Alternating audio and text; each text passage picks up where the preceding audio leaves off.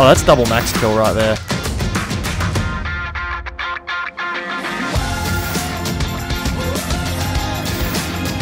Good day there once again viewers, this is your mate CAMIKAZE78 here, come to you guys with some more PlanetSide 2 content. So guys, here we are. Y'all have been requesting this video for weeks on end, and despite my better judgment, and despite a very public dislike I have for this weapon, here we are, the NSX Yumi review. This, like the Tengu, is one of the most polarizing weapons in the community right now, with some swearing their allegiance to it, and others simply wanting to forget that it even exists. And I can see both sides of the coin there, and today we're going to figure out why that's the case. For those new to my weapon reviews, we're going to start off by doing a quick TLDR of said review for those who don't really feel like sitting through a 10 minute plus long video, but for those who are more interested in the nitty and the gritty, we will follow it up by jumping into the statistics that make the Yumi what it is on the battlefield, with some weapon specific strategy and thoughts afterwards, with a discussion about attachment options to wrap things up. But, as I said, for those who are a little bit more time poor right now, let's quickly go over a shortened version of this Yumi review. Alright, so the Yumi. Where the hell do I even start here? I feel as though the great divide within the community comes down to two factors. The fact that it's a 5 round burst fire weapon with a 6 shot kill maximum damage, and the fact that it comes with a 0.25 second charge up mechanic every time you squeeze the trigger. So Translation, whenever you want to fire a burst out of this thing, you have to wait 0.25 seconds before the rounds actually start flying, which that in itself is going to sound very off-putting to a whole lot of players. Now that's especially considering that the baseline damage with the weapon sees it scoring not enough damage on body shots to kill in one burst, which leaves you susceptible to approximately 0.5 seconds of charge up time at the bare minimum to land all the necessary shots to kill a target from full health to none.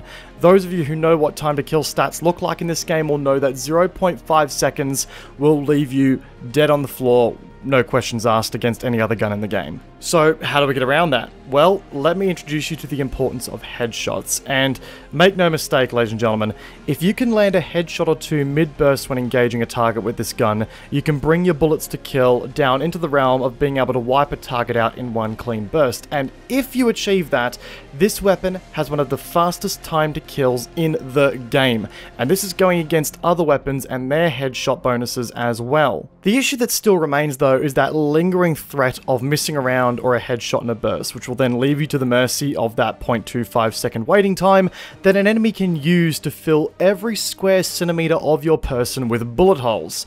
So it's a high risk, high reward weapon, and I can see its charm from that perspective. But then I asked myself, why would I take this thing over anything else that is more forgiving and still has the capabilities to dish out very high-end headshot damage? My rationale behind asking that question, guys, is that it's very much a case of you need to put all of your eggs in one basket here, except the basket is very much a soggy piece of cardboard that you just got to pray doesn't break on you. In a smaller engagement where you can control the situation a bit more confidently and make sure you're only engaging a certain amount of targets at a time, this weapon will treat you right if you treat it right. But this is PlanetSide. 99% of the engagements you face are almost certainly going to throw a variable at you that this weapon simply cannot counter you are instantly going to be on the short end of the stick while your weapon reamps itself for a second burst, and for that reason alone, I struggle to recommend the Yumi. Its cons don't outweigh its pros in the realm of PlanetSide 2. But that's my opinion on the TLDR. Let's quickly get into the stats and see how the Yumi actually performs from the ground up. Let's start off with the party piece of the Yumi, its damage model, and its delivery method for that matter.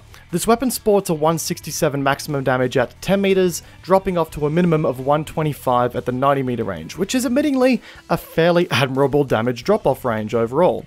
Now, this translates to a 6 shot kill out at the 10 meter mark, stretching to a 7 shot kill from the 10 to 55 meter mark, with a 8 shot kill being required, beyond 55 meters all the way out to the 90 meter minimum damage range. So you'll notice that this basically means that the weapon needs two bursts to kill a target at any range if your shots connect to the body.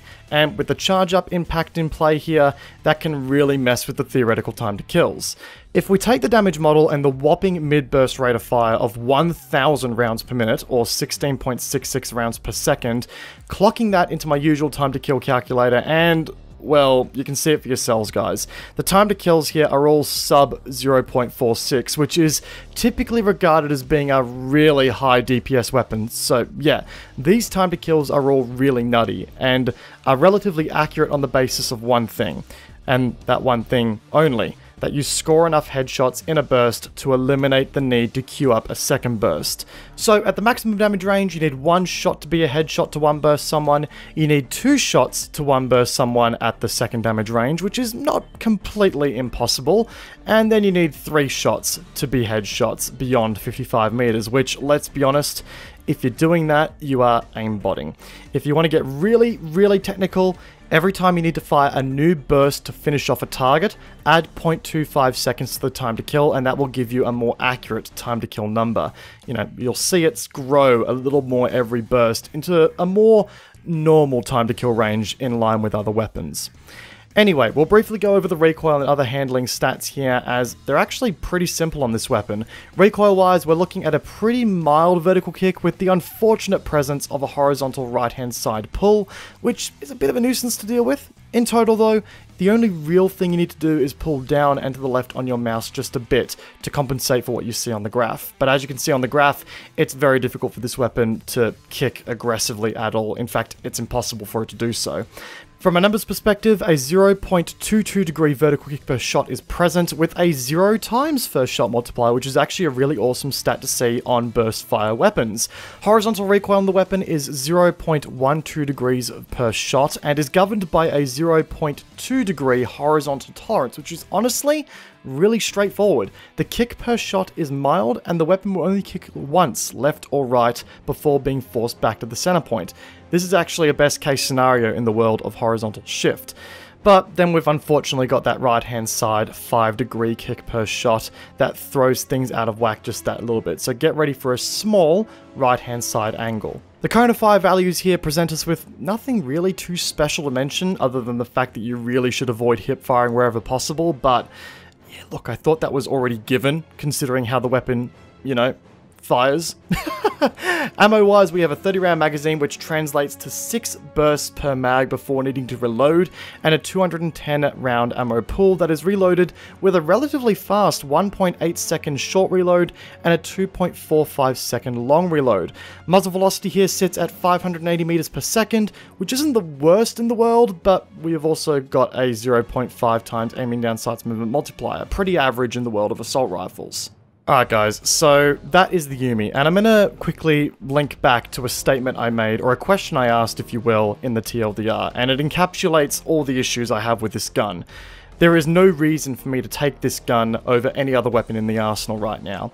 Yes, the weapon could change in the future, but as of right now, there are just too many major barriers between me enjoying this weapon and seeing the advantages of its incredible one burst capabilities. Because, and I won't lie, that is an awesome advantage to this weapon. If you catch a target off guard and manage to one burst him, he will not have enough time to react at all. But as I said, there are just too many barriers in the way for me to enjoy those incredible one burst capabilities right now. And the first one I've got is hilariously not actually a fault with the weapon specifically, but it's more or less a problem with all burst fire weapons in the game right now, and it's a problem that becomes more and more noticeable the longer the burst on a weapon actually becomes. And it's the fact that if you commence a burst while aiming down sights, you cannot transition out of aiming down sights until the burst is complete. The same goes for starting a burst while hip firing. You know, if I start firing the Yumi to engage a target in a 1v1 and a second enemy rounds the corner soon after, I cannot transition to a hip fire stance to at least start turning around and running away until the burst has completely run its course. And with that 0.25 second delay on there, that's included in that too, so it slows you down even more. Another example could be that I come around a corner and I'm surprised by an enemy, but I happen to press mouse 1 just a split second before I press mouse 2, and I'm therefore locked to hip fire for the initial burst, which is just about going to leave me as good as dead because, well, as I said before, hip firing with this thing is no bueno considering the emphasis on headshots and the reliance on needing to minimize the amount of bursts you need to fire.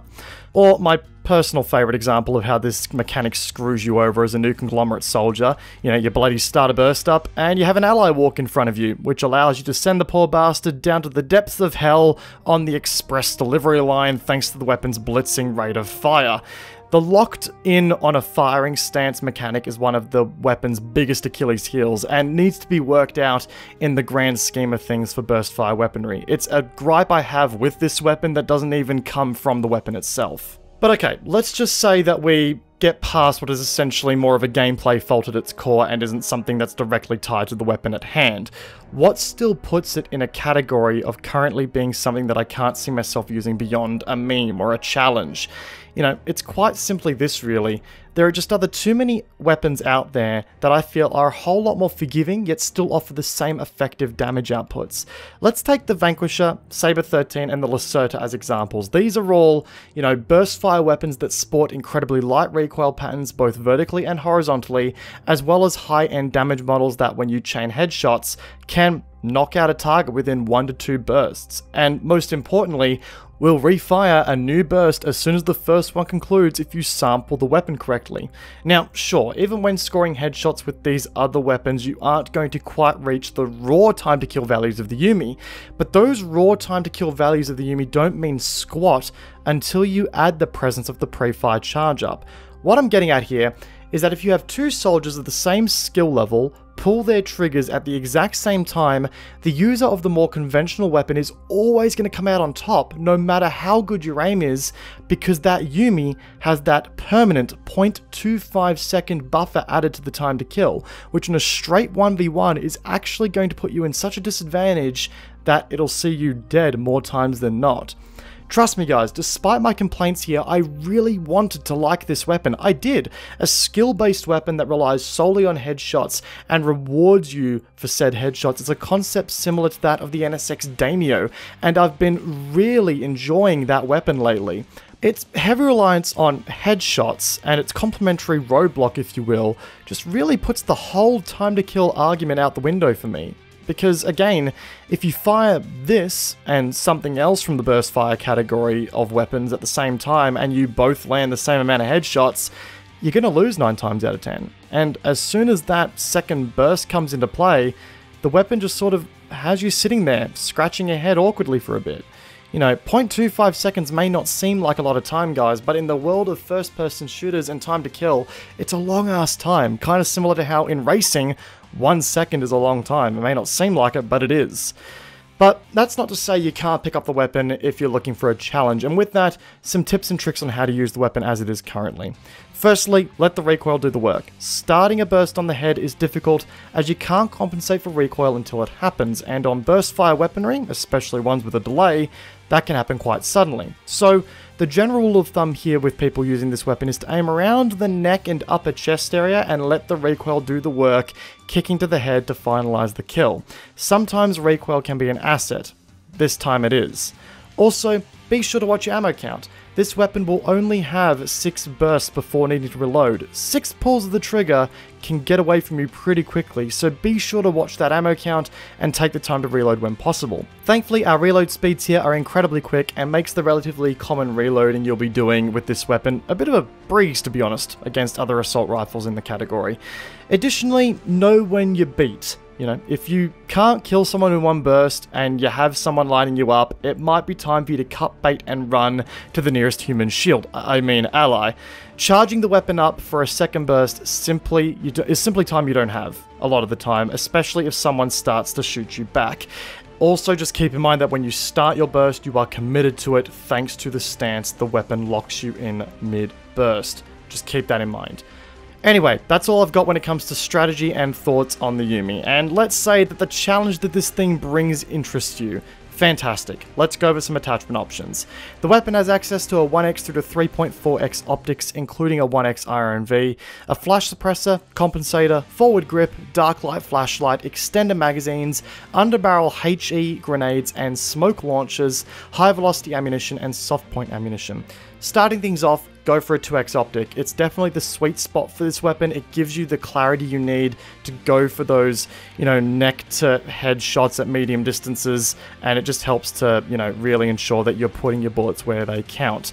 I would definitely recommend taking a compensator next. Anything to help out with that vertical recoil is going to allow for you to position your crosshair a little higher on a target by default, and still let the recoil do some work, but it still makes it a little less jarring in the grand scheme of things.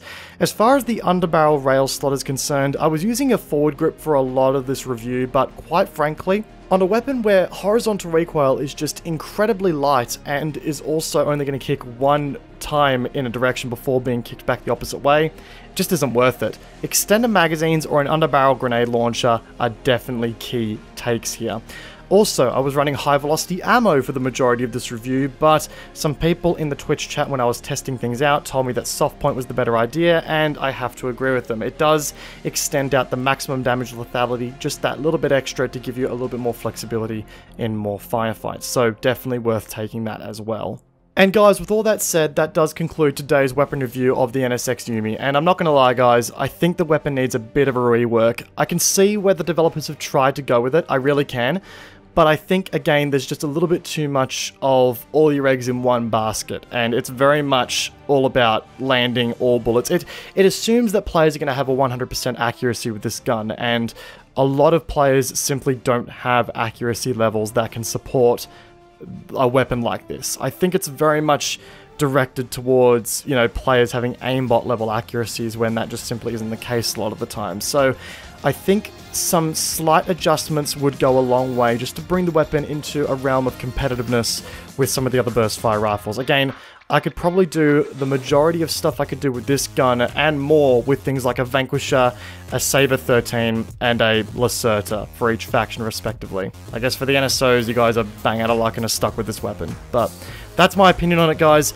If you enjoyed today's video, backing in the like button would be greatly appreciated. And if you find yourselves new to the channel, consider backing in that subscribe button whilst you're at it. If you guys are also interested, all my social media links, including my YouTube join memberships link, is down in the description below as well, and in the pinned comment down below. Once again, guys, I hope you enjoyed today's video. Peace out, and I will see you guys all next time. Take care, guys. Have a good one.